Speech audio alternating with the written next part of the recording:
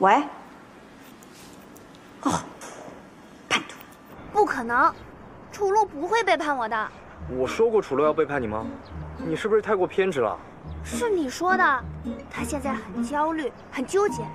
那他应该先告诉我呀，他为什么先告诉你了呢？他告诉你了，就是背叛我了。他怎么能先向别人倾诉呢？哎，怎么又哭了？谁哭了？谁哭了？哎我哭了，我哭了，行吗？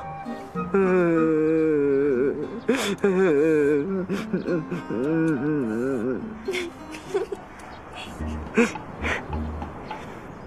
这就对了，你要控制好情绪。我来帮你仔细分析分析。楚露呢，天生有一副好嗓子。上次去北京比赛，受欢迎的程度你也看到了。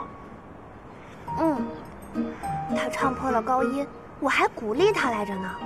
他在我心里就是全世界第一。对，你做的对。咱们接着分析哈。他这个嗓子，是注定要走向更大、更专业的舞台。这个舞台，大到你无法想象。这么跟你说吧，现在位列歌坛之首的大明星，牛不牛？帅不帅？厉不厉害？嗯，高不可攀，遥不可及。未来的楚露是青出于蓝而胜于蓝，一定会超过他。我，想想我都要醉了。哎哎哎，你不能醉，你要保持清醒，你得清醒的看到你的未来。我的未来？对。你呢？没什么文体特长，啊，摄影还行，成绩一般，但考一本不行。我。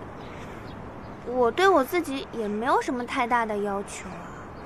我爸说让我不要有太大的压力，考不上一本，那就读个二本三本，毕业之后就去报社接他的班，当个小编辑什么的。问题的关键就在这儿了。怎么了？你想想啊，你，一省会城市的报社小编，楚露，中国乐坛乃至世界乐坛的巨星。这样的匹配现实吗？你们俩能走到一起吗？平凡的小编和伟大的明星，能举案齐眉吗？这么想，是不是觉得有点崩溃？哎，怎么又哭了？你还是不是我朋友了？你伤到我心了。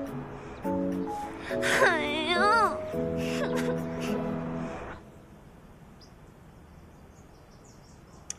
背影曲目最少得准备五首，这么多首，我们能返场五次，用不着吧？有备无患嘛。